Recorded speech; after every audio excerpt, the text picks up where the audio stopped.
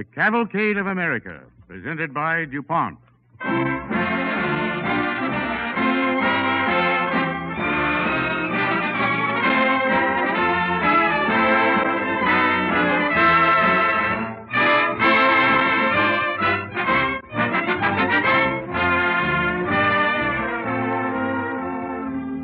The basin of the Mississippi is the body of the nation. Once a great man chose that for the first line of a famous book. He went on to tell how the Mississippi rises in the Dakotas, how thousands of other streams dance down through the Rockies and from the Alleghanies to join the Mississippi. Then the great shining tide rolls on, 3,000 miles to the Gulf. A noble river. Many of its sons have put it into song and story, but we feel the man who, of all others, felt most deeply its power and compelling lure was Mark Twain. The river gave Mark Twain to the world, and gratefully, because he could never forget it, he made the world love the Mississippi. It is his story that we will tell you tonight.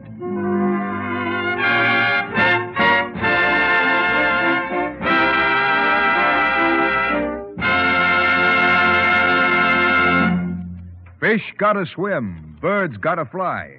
From Showboat, Jerome Kern's immortal score of Edna Ferber's drama of the Mississippi, Don Voorhees and the DuPont Cavalcade Orchestra play a familiar melody.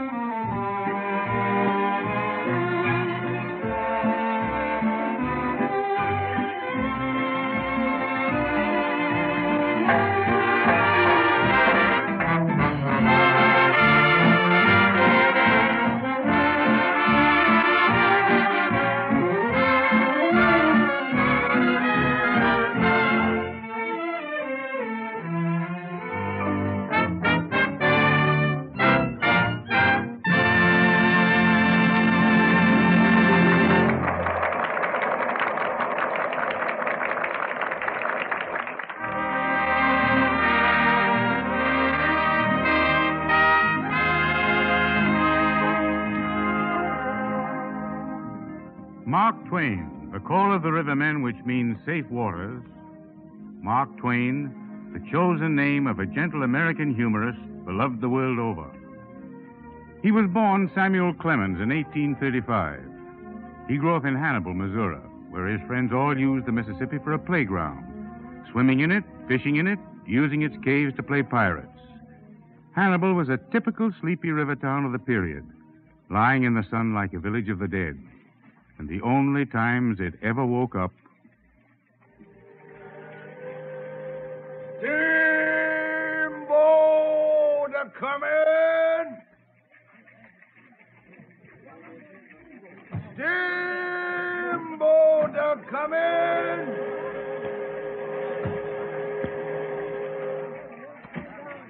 Steamboat round in the point!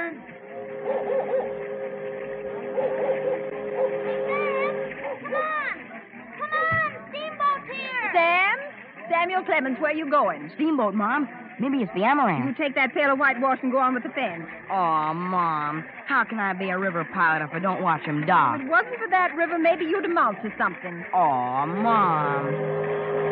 Listen, it is the Amaranth. Mom, I promised to amount to something if I can just finish that fence after dinner. Don't talk the cargo loaders. It's men's talk, and it fills your head up with Natchez and Baton Rouge and river jokes I never heard of. Sam? That young one. He's possessed.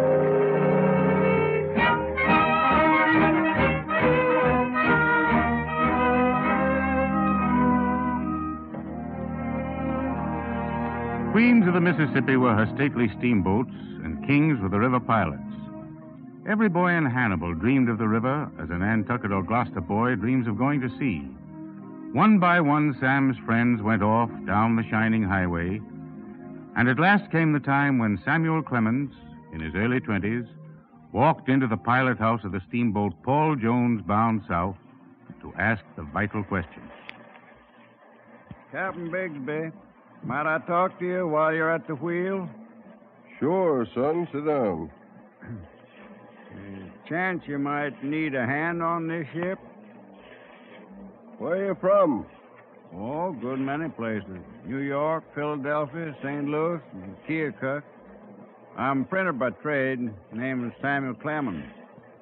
This river's where I lived till I was a man grown. On it, in it. I could swim from that Missouri shore to Illinois and back. You know Willie and Bart Bowman? Bowen boys? Mhm. Well, they're pilots on the St. Louis New Orleans run. Mm-hmm. Friends of mine. So? My mother always said it was the river that made us boys restless. Maybe, maybe she was right. Maybe if you try to leave the Mississippi, you always come back to it. Yeah, I couldn't say. Never tried leaving it. Well, how about it, Captain? Would you take an apprentice pilot? A cub pilot? I've steered everything else on this river. I've steered a rowboat and a raft and a log. Think and- you could learn 1,200 miles of river? Know the depths every inch of the way? Why, you gotta know the look of every bluff, every tree and grove, by day or night. In different kinds of moonlight. In rain or... Uh, just let me have that wheel a minute. Yeah, step up. All right now. Hold her where she is. Right for that cottonwood tree. Uh, going past Hannibal pretty soon, Captain. Hannibal, Missouri. How do you know? That's where I'm from. I reckon you got the feel of the river, all right. Gosh, come on, Captain. How about it? Well, I guess you'll be coming past Hannibal one way and another for years. I can use a cub.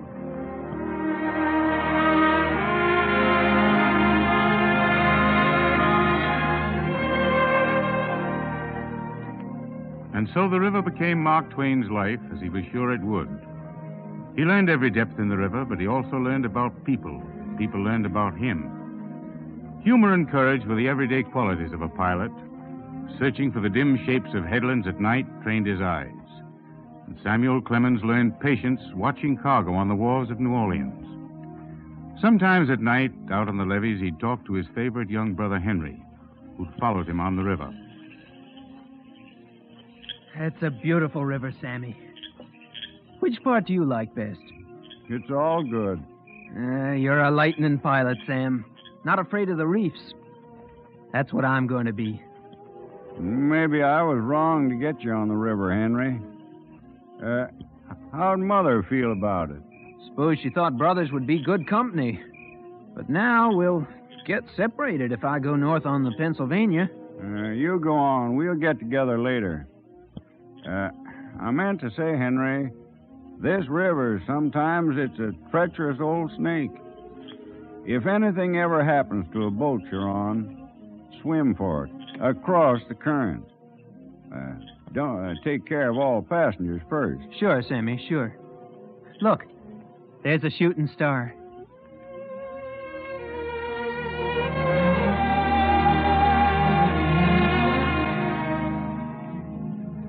Samuel Clemens going north on the A.T. Lacey, Henry Clemens on the steamboat Pennsylvania, and the cruel river plotting to separate the brothers forever. A few days later, in a Memphis hospital, The doctor told me the truth, Sam. Only a little longer. You can take some messages to Mother. Sure. Don't talk too much, Henry. The boilers exploded. I was in the water. I tried to head for shore, like like you'd warned me once. Across the current. Be easy, Henry. Across the current. And then I. I remembered what you said about looking out for the passengers. And I swam back. Curse the river. Curse the Shut up, Sam. You'll bother the others. I'm not afraid. I'll be in safe waters. Mark Twain.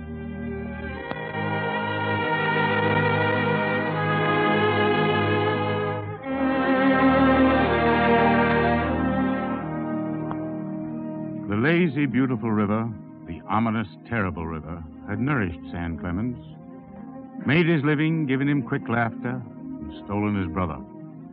When the Civil War began and made the river a kind of no man's land between North and South, the reign of the steamboat came to an end. From a river pilot, he became a miner and a prospector, and finally a newspaper reporter in the West. It was here that he first used the name Mark Twain to sign his articles. The humorous vein of his writings was widespread and gradually led to the lecture platform. But while lecturing was one brave adventure, falling in love was another. And one day, as he completed a visit at the home of the Langdons in Elmira, New York, Livy, Don't interrupt you. you always call me youth. Thanks for the compliment, but I'm no youth by a long sight. Now, youth, you mustn't use slang. You shouldn't say things like by a long sight. I didn't know it was wrong, Livy. It just came out natural. Well, you never hear any slang in this house, you bet your life. Oh. yeah. I I have to say goodbye, Livy. I eh, I- yes, I, I know. You're going today. You- You have a lot of important work to do. there's a lot of things I'd like to tell you, Livy. I think about you all the time. Oh, youth, do you? Sam, we better hurry if we're going to catch that train. Are you all ready? Yeah, yeah, I guess so. Well, well goodbye, Livy. Goodbye. I, I hope you have a pleasant trip. Well, what's the matter with her? Oh, oh, just well, just girls are like that sometimes. You know, Charlie, I almost wish I could stay on a couple of weeks. This has been the first real home I've seen since I left Hannibal, Missouri. Sam, you and Livy, it would be most embarrassing if you stayed on. Charlie, tell me the truth, will you? We're friends. Is it because I'm a Westerner that I'm not good enough for your sister? No background, no education, no polish. Well, let's just don't bother with it, Sam. The carriage is waiting. Maybe I could write books, Charlie, if I just had a reason for writing them. Livy's the best reason I ever saw. Almost train time, Master Charles. Oh, thanks, Tom. Uh, will you take the bags, please? Yes, Master. Uh, We'd better hurry, Sam. Uh, certainly, Charlie. I wish I could say goodbye to Livy again. I, I, I promise not to tell her how I feel about her. It's better this way, Sam. Uh, put the bags in front of the trap, Tom. I got 'em fixed, Master Charlie. Whoa, Bobby, whoa. What you acting up for? You gentlemen get in, please. Thank you, Tom. You all settled, Sam? Slight trap isn't so comfortable with baggage. Say, Tom, this seat feels loose. Yes, it gotta be fixed mighty soon. Ready, gentlemen? Get up, Bobby. Get up. Stop! Stop! Stop! Oh, oh, oh, oh, Bobby. Oh, you fool horse, you. Oh, oh, oh. Oh, my golly. Poor Miss Charlie.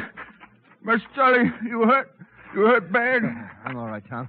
Help me up, please. Yeah, uh, yeah. Uh, Where's Sam? yeah. Sam! He must have fell right out on his head. Sam. Sam, old man. Tom, run for the doctor. Oh, Charles, Charles, Charles, what Keep back, happened? Livy. Oh, let me help him. Charles, is he dead? The horse jerked and the seat broke and dumped us both out. All right, you stay here. I'll get water. Oh, you, you, my dear, speak to me. Livy. Darling, you're all right. Yes, dear. You, didn't you fall on your head? I hope not. I think I'm going to need it. Uh, Livy, I've promised not to tell you. I'm in love with you. Oh, then you mustn't tell me. Oh, oh darling, I'm so glad.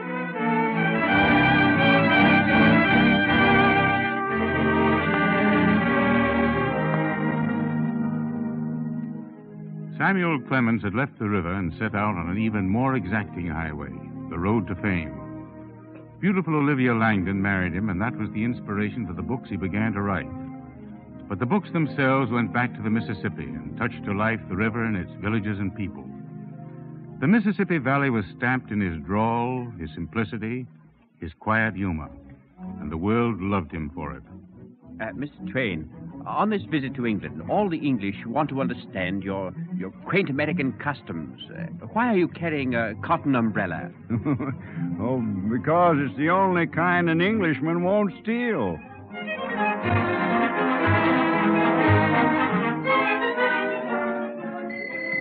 Welcome to Berlin, Mr. Twain. Uh, uh, will you sign the register here, please, Mr. Twain, under this name? Grand Duchess Sophia and retinue. Uh, just sign me Mark Twain and suitcase.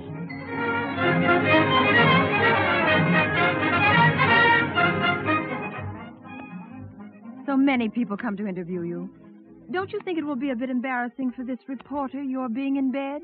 Why, Livy, if you think so, we we might have the other bed made up for him.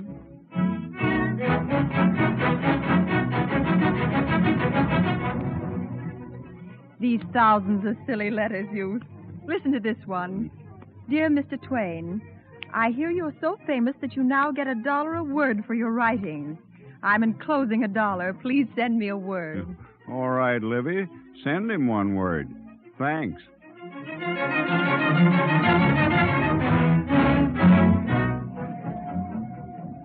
It is an honor, Monsieur Twain, to welcome you to the Republic of France. As you see by the crowd at the station, we read your books in translation. Well, it's fine to be here. Why, why I've heard the people are so smart in Paris that, that even the children speak French.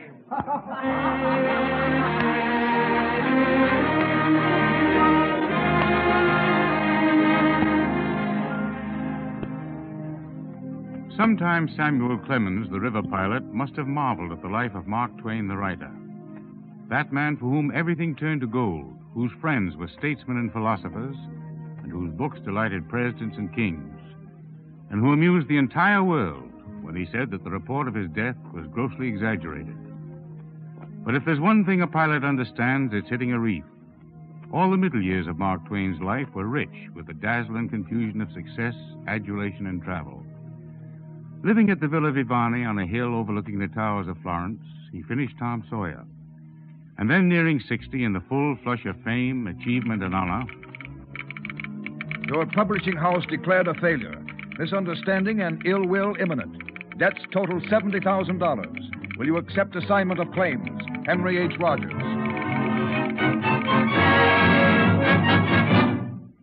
I'll take that assignment. I've got to pay it back. $70,000. I can start work, write anything they order, any book or article. No more speeches or dinners or banquets or playing the great Twain. Oh, Youth, if we could only pay it back. Well, anyway, we can't go back home. Why? Oh, I can't face it, Livy. I, I just can't face the music until I've paid every darn cent. We can stay abroad, wherever you think you can write. What scares me is that I might not be able to write. I can't remember anything, Livy. No stories, no jokes. I, I fish down in my mind and it's a blank. That's only worry, my dear. Wish I were younger. I'm nearly 60 and I've been away from the river a long time. I mean, away from the people that I knew out there and knew how to write about. Oh, I know you can do it, Youth. Why, you've told me over and over again that the most you've ever been scared in your life was out on that river. You said hitting one. I wish I was young again, Livy. Long enough to see the Mississippi. I'd like to be in a pilot house and feel the water getting shoaler. Livy, I never had an accident. Never lost a passenger or harmed a cargo. I'd hate to spoil a record.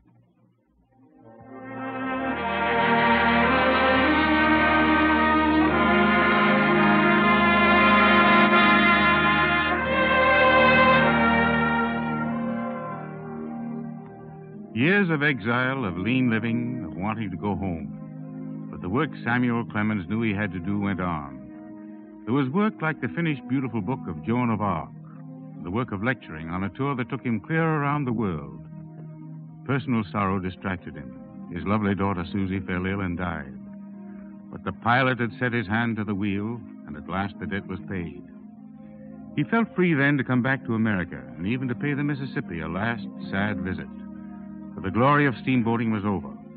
He was old, 70 years old. And sometimes he wondered what had been the good of his life and of all his books.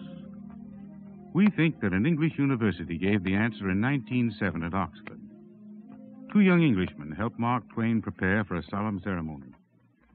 This robe is fancier than the kind they wear in universities back home. Uh, yes, you wear black in the States, do you not? Frankly, I I never got a degree from a college, except this honorary kind. The best kind, don't you think? Well, I don't know. I certainly didn't have enough education. Picked up what I know on an old riverboat. On the Mississippi. How'd you know? Why, I've read your books, sir. I suppose most Englishmen feel that they know most about America from the speeches of Abraham Lincoln and from the books of Mark Twain. From Abe Lincoln and me. That's a compliment. I, I think you're all ready to join the procession now, Mr. Twain. Well, now, now, now, tell me again. What do I do? You simply walk with the others through the quad and into the Sheldonian Theater, where Lord Curzon gives out the degrees. I walk up when I'm told to, stand as Lord Curzon says something in Latin, and walk back to my place. Oh, there's one thing, sir. Rather odd about Oxford, throws people off a bit sometimes. The undergraduates all sit in the gallery and shout out their own comments on the degree holders.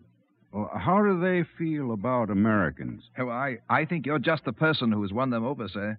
They, they remember all your charming insults about England. Good Lord. Will they remember them?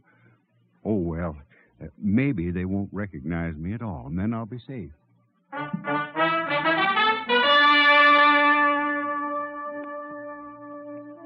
Quietly, Mark Twain adjusts his gray and scarlet gown, walks slowly to his place in the procession, stands with the other honorary fellows, with Prince Arthur of Connaught, the sculptor Auguste Rodin, the composer Saint-Saëns, the poet Rudyard Kipling. Then into the great lofty hall, steeped in the ancient courtly tradition of British pageantry and learning, moves the solemn academic procession.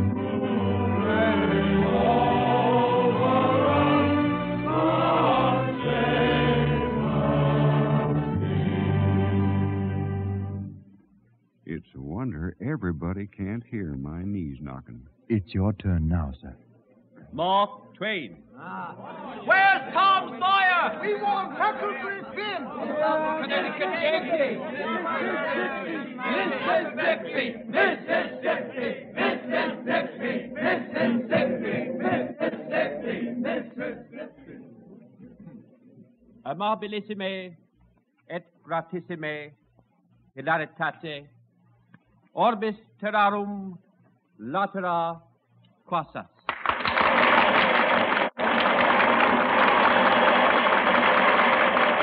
Uh, sit here, Mr. Twain. He nearly brought the roof down for you. What did Lord Curzon say? Uh, I don't understand Latin. He said, Most amiable and charming sir, you shake the sides of the whole world with your merriment.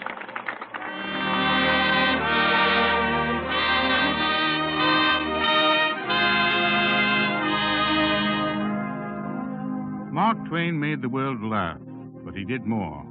He won a world public's admiration and respect and made the Mississippi known wherever men knew the printed page. He died with his debts paid and his mind at peace. Mark Twain, the pilot, was in safe waters at last. And the riches he left were as great as this country has ever received from any of her literary sons.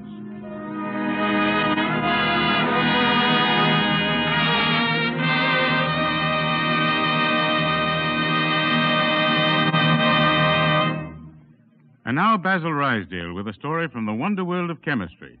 It seems that every time I look into a story of chemistry, I discover a host of queer facts that I never knew before. I looked into the story of colored glass and found that a glass factory was America's first mint. Yes, mint, a place where money is made. Way back in 1621, some glass workers from Venice were brought over to Jamestown, Virginia to make colored beads to be used for barter with the Indians. And so colored glass was first made in this country to serve as money. And there's another angle to that story, because for many generations, it took plenty of money to buy colored glassware for home use. There was a good reason for the high cost of colored glass in days past. The maker had to have a tank full of molten glass for every different color he wished to use. So, to make a goblet with a red top, a clear stem, and a blue base, he had to make the three parts separately and then cement them together. Chemistry has solved that problem. Today, he has only to make a clear glass goblet and then apply the remarkable surface colors used in modern glassware. These surface colors are glass, low melting glass, ground to a very fine powder along with chemical pigment, then mixed with a solvent and sprayed on. The glassware then travels through an oven where heat of 950 to 1100 degrees Fahrenheit causes the color to melt and stick fast. The glass article itself is safe because it won't melt at those temperatures. So you see, it's really glass applied to glass that obtains these handsome color effects at little cost. I was told by men in DuPont's ceramic color plant that at least 10,000 different shades or variations of color for glass and pottery can be obtained there. Much scientific skill must be used to make sure that each color has the same rate of expansion as the glassware. Otherwise, it would chip off when exposed to changes in temperature, such as caused by hot or cold drinks. And that's not all. Alkalis in soaps and foods, and sulfides from coal gas all attack color. Latest DuPont developments in this field resist these enemies so well and are so permanent, they're called super resistant colors. Well, there's another kind of better living beauty for the home in the form of lovely glassware that everyone can afford. Yes, beauty that grew out of a pledge of service, the DuPont pledge. Better things for better living through chemistry.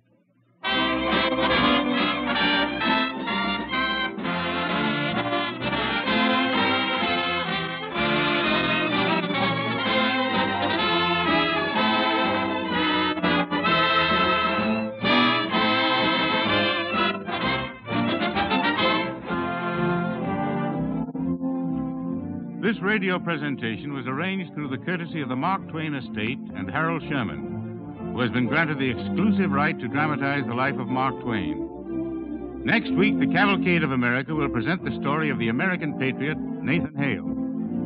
So until next week, then at the same time, this is Thomas Chalmers saying good night and best wishes from DuPont.